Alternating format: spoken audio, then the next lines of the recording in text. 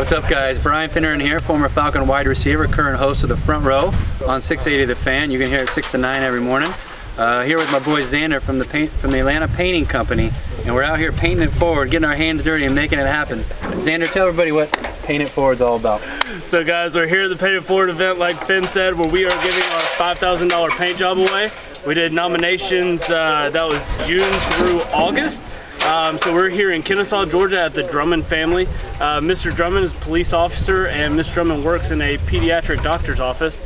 Uh, had some financial hardships through COVID and we were able to come out and help them out with this project. And so we've got all the guys out here today and tomorrow and uh, we're looking forward to wrapping this thing up. So you guys stay tuned. We'll have all the before and after pictures up after and uh, stay safe out there. And paint it forward, let's make it happen. See you guys.